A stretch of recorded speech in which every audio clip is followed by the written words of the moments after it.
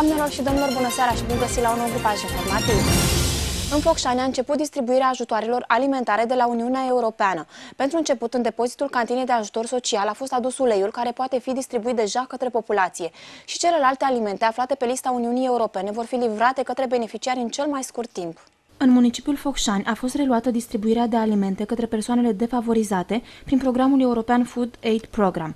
În anul 2014 se vor distribui 9 produse, din care două noi, după cum urmează făină 15 kg de persoană, paste făinoase 600 de grame de persoană, mălai 8,5 kg de persoană, ulei 5,2 litri de persoană, roșii în suc propriu 1 kg de persoană, zacuscă 500 de grame de persoană, miere de albine 300 de grame de persoană, conservă de carne de porc 350 de grame de persoană și zahăr 2,7 kg de persoană.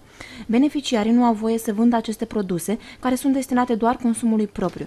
Potrivit legii, cei aflați în fruntea consiliilor locale au libertatea să redistribuie alimentele rămase pe stoc, așa că beneficiarii ar trebui să-și revendice drepturile cât mai curând.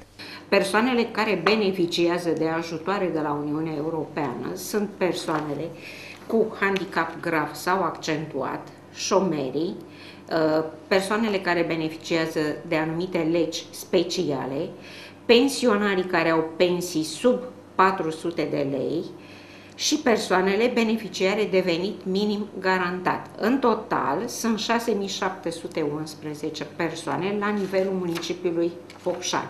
Deci, în prima fază distribuim uleiul, se acordă câte 5 litri de ulei pe cap de persoană. Celelalte produse în funcție de cum vor veni, se vor distribui și ele. Sunt făină, paste făinoase, mălai, roșii în suc propriu, zacuscă, miere, conserve de carne de porc și zahăr.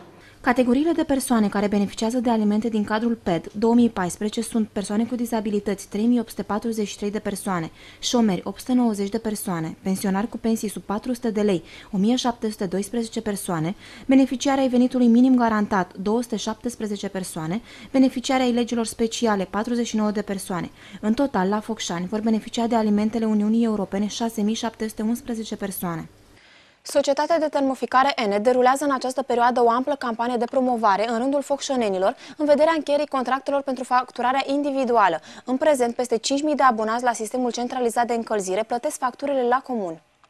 Reprezentanții ENET susțin că facturarea individuală nu este obligatorie. Totuși, cei de la ENET efectuează în această perioadă vizite la abonații săi pentru a-i convinge cu privire la avantajele facturării individuale.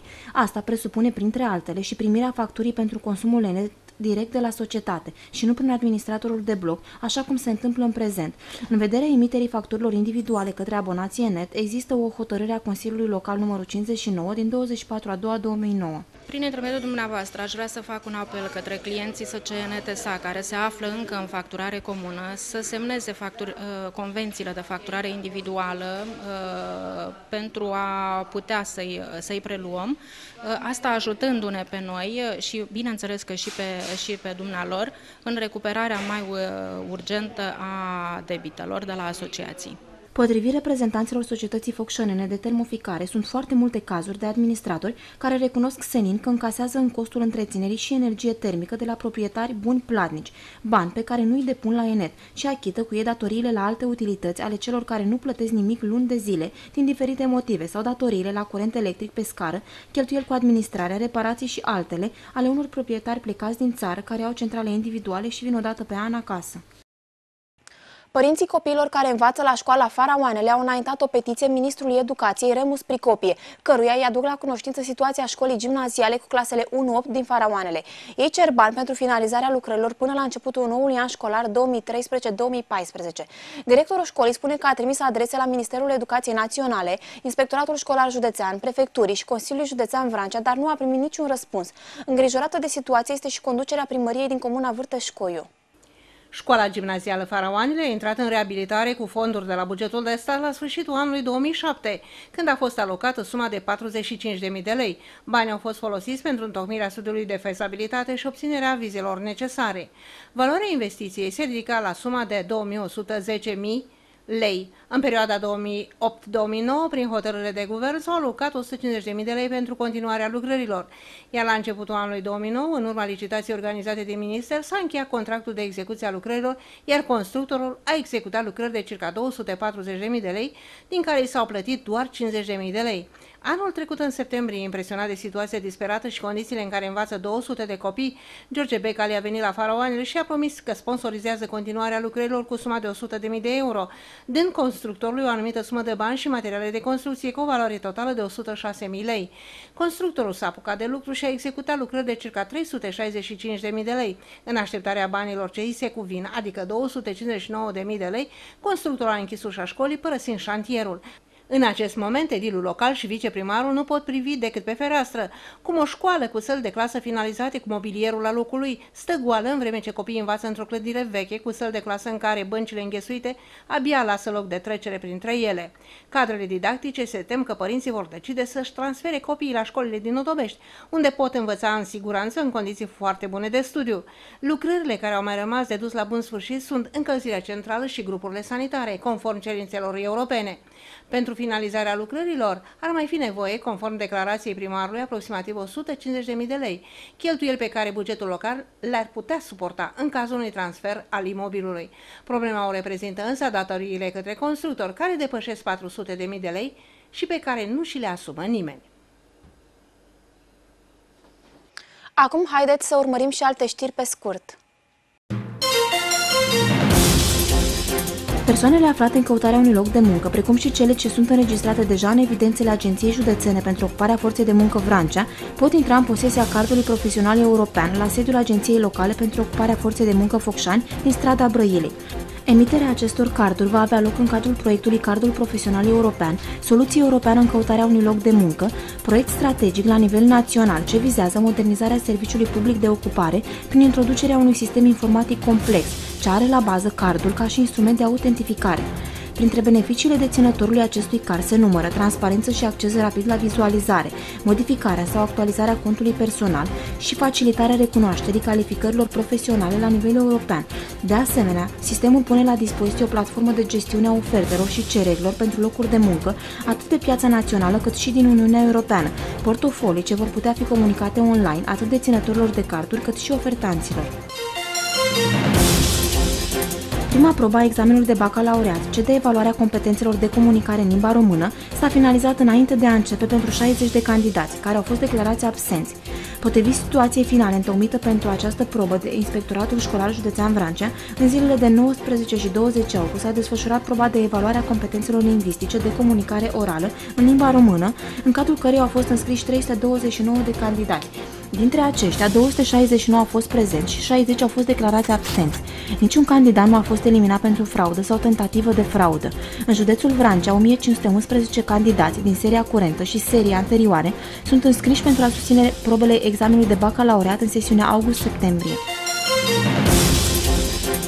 Săptămâna viitoare începe prima sesiune de depunere a cererilor de acord pentru finanțare, ce trebuie depuse de patronii care vor să obțină un ajutor minim de la stat.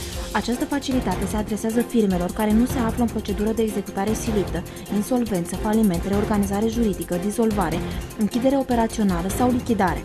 Solicitanții acestor ajutoare trebuie să fie înregistrați ca societăți comerciale sau societăți cooperative, să se încadreze în categoria IMM-urilor, să desfășoare activitate economică.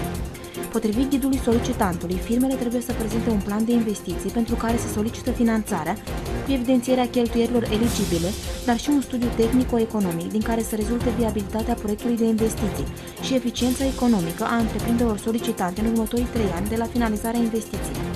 Administrația Județeană a Finanțelor Publice Vrancea a anunțat că cererile de acord pentru finanțare se vor înregistra online.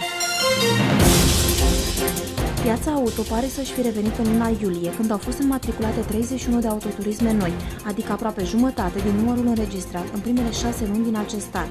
Datele Direcției Regim Permis și înmatricularea vehiculelor Vrancea arată că în semestrul întâi din 2013 au fost înmatriculate 76 de autoturisme noi, iar în iulie s-a ajuns la 31 de vehicule noi. Creșterea este însă mică dacă se ține cont de avansul pieței autoturismelor second-hand de import. Doar în iulie au fost înmatriculate 502 de vehicule importate din Germania, Olanda, Belgia sau Franța, adică aproape o treime din numărul mașinilor importate în primele șase luni din 2013. În schimb, în ceea ce privește autoturismele din România, în iulie au fost înmatriculate 253 de mașini în media anuală.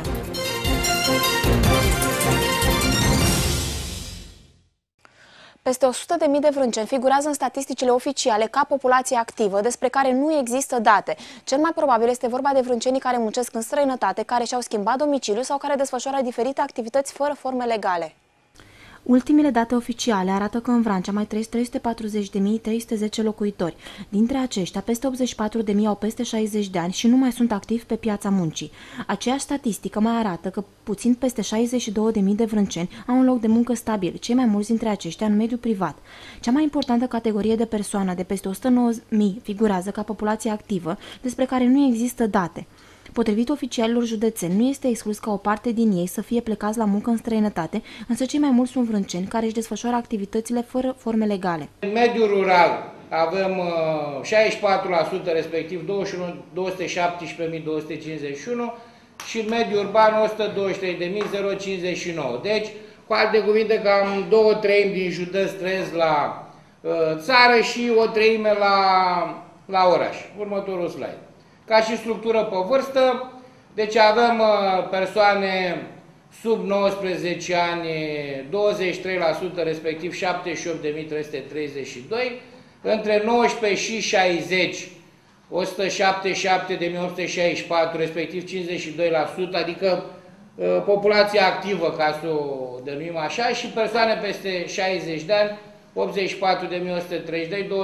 25%. Deci, la fel, în mod uh, simplist putem spune că jumătate din populația activă a județului este sau jumătate din populația județului este activă, un sfert este peste 60 de ani, un sfert este sub 19 ani. Când se completează fișa de identificare a angajatului cu privire la data angajării, timpul de muncă și bănuții pe care îi salariu, întotdeauna declară minimul pe economie de cele mai multe ori. O situație întocmită de Direcția de Statistică arată că peste 83.000 de vrânceni beneficiază de anumite forme de ajutor social. Dintre ei, 5.300 sunt beneficiari ai ajutorului minim garantat. La final vă prezentăm prognoza meteo pentru următoarele 24 de ore. Vremea se va menține deosebit de caldă pentru această perioadă. Cerul va fi senin, iar soarele va străluci cu putere. Temperaturile vor urca până la 34 de grade. Noaptea se vor înregistra 18 grade. Doamnelor și domnilor, aici punem punct știrilor Atlas TV de astăzi. Vă mulțumim pentru atenție, să aveți o seară cât mai frumoasă. La revedere!